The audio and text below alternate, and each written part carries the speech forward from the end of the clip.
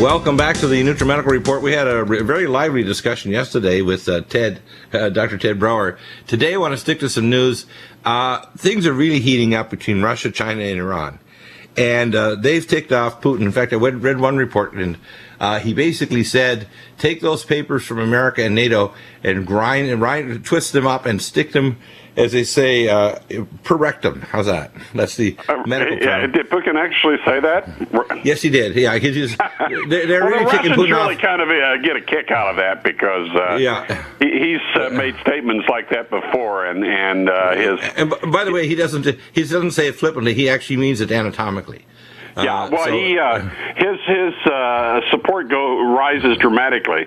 Uh, he said at one point they would go after the Chechen terrorist, uh, they'd shoot him in the outhouse, uh, which doesn't mean anything to us, but uh, it's evidently a colloquial expression in Russia, and uh, his uh, his support shot up dramatically. I mean, they like strong men. Now, uh, here, here's the latest, uh, Doctor Bell, and this is. Uh, I'll make a bet their water's not fluoridated.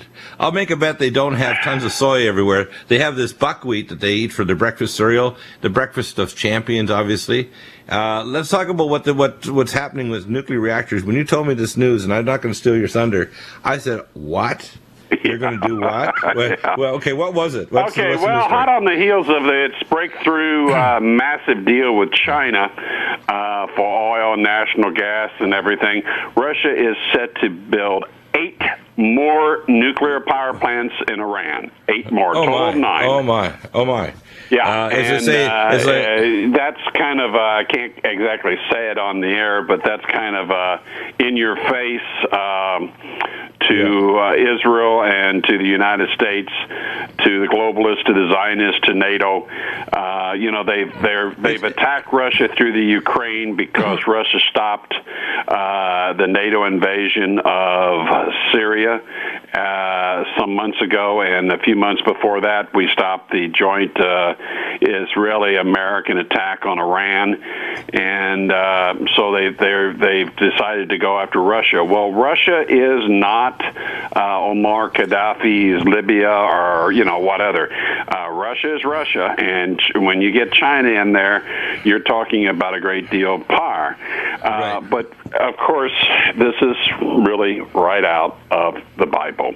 Right. This is the by the way, alliance now between they're- Russia, China, and Iran is being assembled as a direct response to the Obama the way- globalist Zionist attack on Russia via the Ukraine. This is how we develop global alliances for world wars, and this is how we're developing the global alliances for uh, the apocalypse, for Armageddon, for World War Right. III. Now, in, in- people that don't believe in God, and there are people out there listening to this program, you need to get a reality check. When the Bible, written by God, He's not a clockmaker, winds up the universe and just walks away. God is outside of time space. To God, the infinite past the infinite future, to Him are the same. God does not is not is not a timekeeper. He is the maker of time. He is outside of the dimensions of time space. And what you have to understand is when he goes through the, the Revelator or any of these prophets, he's literally telling us this is an eternal book that transcends time space. I'm going to Well, tell you Well, you know, so some that- people want to say, "Well, that's not scientific." Whoa, whoa, whoa! Hold No, the, no, no, that's- hold that's the not- the, the yeah. uh, uh, reins here. Uh, look, it is scientific. If you uh, get into quantum physics, you will find that one of the most po- popular theory probably out there that describes how the universe functions is the super holographic universe model, and that basically. Uh, incorporates in it as as a key part of it uh, uh, this concept and the way the wording they use could have come right out of a theolog- theological textbook, but it, the wording they use is all that was is. All that is is, and all that will be is. In other words, uh, it's very much the Christian concept of eternity. Everything is there, and when we die, we go to heaven, which is not in the future, past, present. It's in all of them. It's in eternity. Right. And and the latest I- uh, scientific uh, knowledge says yes, uh, that's how the universe functions. So you know, don't don't people that want to be dismissive of, oh well, you can't do prophecy and God doesn't know and and blah blah blah. Well, I'm sorry, but that's not science. And right. Actually, the uh, you, science, you the science, science there has to, be a lawgiver too. There has to be a lawgiver. So when we hear people like this uh, uh, wheelchair bound by ALS, uh, I'm not even going to mention his name, a physicist that doesn't believe in God and uh, likes to believe in black holes. The laws that create black holes in the event horizons, that creates the Higgs field for dark matter and energy, the lawgiver is beyond time and space. And what we have to understand is what's going to happen here shortly in this world is that they're forcing Putin's hand, and he will act as a beast dictator. He will. Okay. And by the way, when he starts taking over chunks of uh, Ukraine or other countries like uh, uh, Moldova, they're going to do nothing because if they try to do anything, he will he will body slam the NATO forces and our forces, our special forces. By the way, and a good example was two years ago in Georgia, uh, in the Roki Tunnel, which is where a lot of the gas lines comes through Georgia. Uh, the Saakashvili, the tie-eating, drug-addicted uh, idiot who is Western puppet, yes, yeah, Western puppet in in Georgia was uh, literally wanting to turn Georgia into a NATO member now this is directly a slap in the face to the Russians to make NATO. There's no purpose geopolitically to do it other than to tick off the Russians and to guarantee a future hardening of their position toward us. Rather than doing business, like getting rid of the illegal drugs that are poisoning their own children and ours that are coming out of this golden triangle of, of now the largest producer of, of heroin in the world, which is Afghanistan, which is killing their young people, by the way we no longer have cooperation. Same thing as the RD-80 rockets, which are the rockets that deliver all of our supplies to the U.S. space, U.S. and International Space Station. It's all on contract with Russia. Our rockets are so out of date; they haven't made a new uh, rocket from the Saturn V5 in over 30 years. The Russians redesign them every year. They're so far ahead in their physics, in their in their in their their science and their the science of war. We're not spending as much money, but every chink in our dragon armor they have figured out a way to neutralize us. So the idea that we're going to just waltz in and do a NATO game and stop the Russians, they're delusional. Yeah, They're well, delusional. you know what Georgia did, and and the the armed forces were were basically under the authority of a Israeli general, and there were a thousand uh, Israeli com- uh, commandos uh, that Right. were fighting for Georgia. They uh, attacked an area that uh, was almost pure Russian citizens. Right, and they were shelling them. uh, They were shelling them in their they homes. They used traditional Soviet tactics for, for ground maneuver, ground warfare. Uh, in, in advance of a, ta- a tank column, they neutralized everything with uh, tubeless and tubed artillery. In other words, with 152 millimeter uh, cannons and uh, the, the old Stalin Organ type of uh, rockets, they flatten everything. Nothing lives, so the tanks can roll through un- unharmed. If there are any anti-tank mines, they're blown up. Uh, there are no people left. Everything is dead. And they went through a, an apartment complex, uh, a village of Russians uh, asleep in their beds, and just slaughtered Right. many of them. Well, uh, that was a bit too much for Putin and uh, the Russians, and they stormed in, and uh, they could have taken over the whole country. They did, and they just uh, uh, protected their people. But uh, they they can be tough. Well, and we did, know uh, that, and we're counting Tim- on that because Tim, you know what uh, they the- did? They, they they killed all of our special forces over there. Blackwater Security is now called Academi. They killed all these Israeli special forces, Delta type force. They killed any uh, foreign mercenaries that were there. They just slaughtered them all. The Russians literally cleaned the rat's nest out. And the same thing is going to happen if there's a little war game that they tried to decide any live ammo games with the uh, Russians in western Ukraine around Kiev, around these pipelines. Because what's happening now is Kiev has been demanded by Russia to prepay for any gas and oil. They don't have the money. They can't borrow the money. They can't. They've already they up to to their pay by the third of uh, of June. Right, and that's literally weeks away. So what that means is this: that they're I've already said, and this is the Maidan Party in the Sector Right, that they're going to attack the pipelines. You want to tick off the Russians and have an entire giant army immediately invade western Ukraine and Kiev? You're going to have it in June if they try to pull this off. They're, we're sitting on the knife's edge with trigger happy, Western backed maniacs, and Putin isn't going to put up with it. They try to touch those pipelines, and it's over.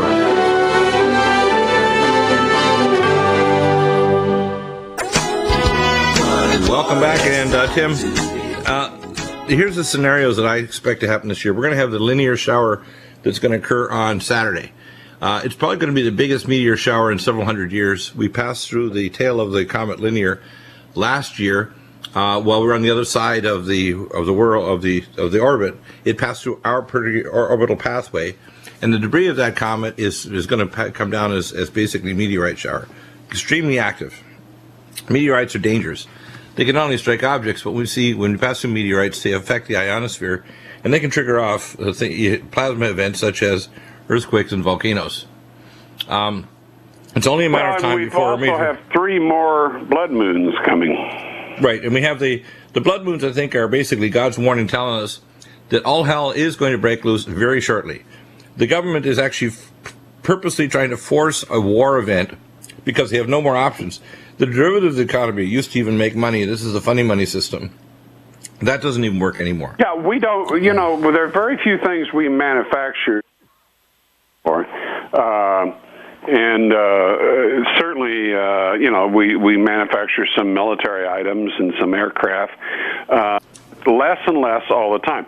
Now, uh, by the way, as you know, in about three weeks, uh, tens and tens of thousands of NATO troops from about 70 countries are going to start pouring in to the eastern Ukraine um, or into the Ukraine, well, the western Ukraine. Now, western Ukraine, yeah. Uh, Kiev, uh, the the Kuga uh, junta has announced that they're ready for the final stage of their military operations in the eastern Ukraine. They said that uh, a few hours after they lost uh, uh, about nine, eleven soldiers on an attack. Uh, whether that attack, uh, one of the one of their people there said it didn't come from the separatists. Uh, it may have been a false flag attack uh, designed to make Russia look bad, because even Russia, even NATO now admits that uh, the Russian troops are pulling back from the border. Um, yeah, Russia basically Putin's playing his hand very well.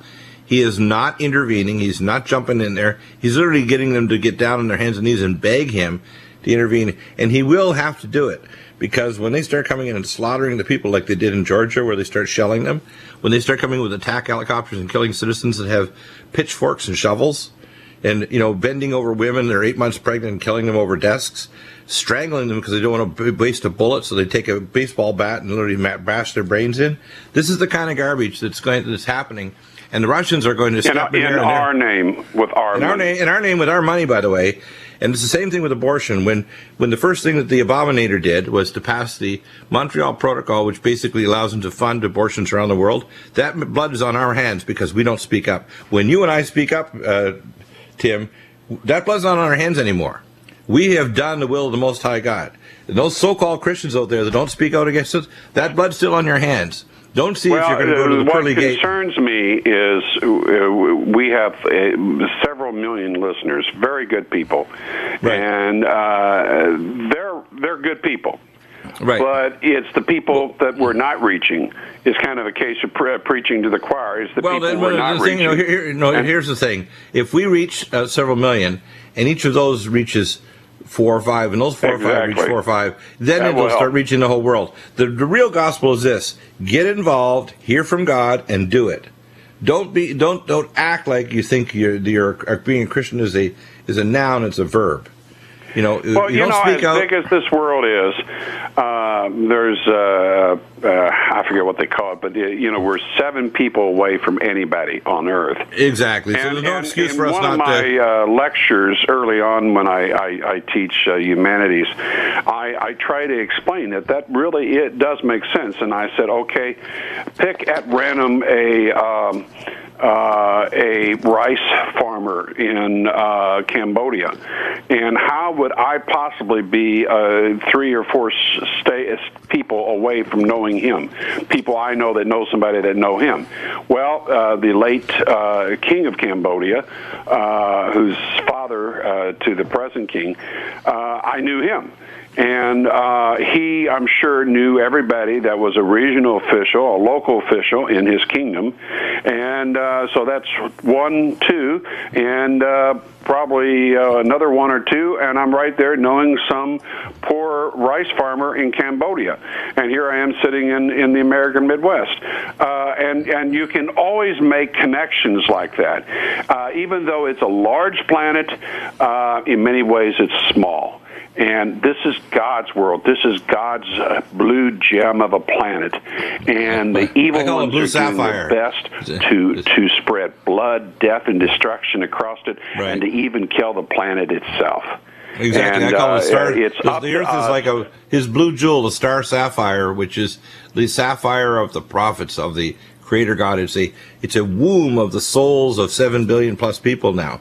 Yes. And that womb is both to birth the living souls that are going to fuse with the Spirit of the Most High, become sons and daughters of the Most High, pick up their scepters. And the real gospel is the ascension not only of us individually, but as a group. As mankind ascends and no longer becomes under the boot of technology like the transhumanist idiots, you know, like uh, Ray Kurzweil and the Google Foundation, NSA, etc., and the globalist uh, satanic elite and the Sabbatean Satanistic Jews, who aren't Jews at all because they're not praisers of God, they are abusers.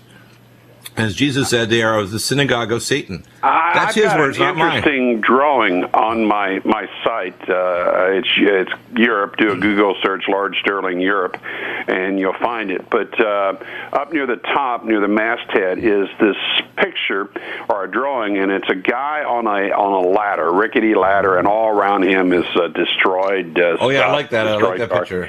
And he's looking over it, and on the wall is written, "The beginning is near." And he's looking out over the top of this tall wall on on a ladder, and it's the great, beautiful cosmos. And you see, uh, Armageddon also means that the second coming of Christ is near. Well, the, So the we're book of going Revelation. through uh, Yeah, some yeah. really terrible times now, and they're going to get worse. Uh, Well- that you can count on. But when Christ returns, He will make all things new and all Right. things perfect. Yeah, the thing that uh, you're saying really that. is is the apocalypse means the revealing. When they listen to this program, when they listen to the program yesterday, they're getting these early signs that the revealing is being completed. And the- It Yep. says, and this gospel will be preached to the whole world, which is have a relationship with God. Nothing else can substitute for that. Do the right thing. Do God's will. Stand up and speak out against evil, whether it's in your profession, your home, uh, your business, your country. Uh, be the uh, salt and light of the earth, just like Jesus called them to be salt and light. And if you're not good as salt and light, then what are you good except to be thrown out? And what happens is that when our you victory. speak up for God, there's something in you that knows you're doing right. Right. And and you Well, that- that's the definition of part good. you that feels good from doing Well, that. And the definition of good is to hear and do Shema, hear and do God's will, which is why even the Temple Mount itself, Mount Moriah, was made in the same of the shin. So when you hear the Aaronic pre- blessing and they separate the third and the fourth finger with a V, and they say Baruch Adonai Amelech instead of all the whole prayer, that basically is saying God's giving you His shalom. He's blessing you. He's empowering you to become His son or daughter by just simply hearing and doing His will. That's all you have Yep. to do. That's simple. Get right with God, folks. God Get bless. active. Open your mouth. Don't be silent. These are the days that silence is not golden, it's death.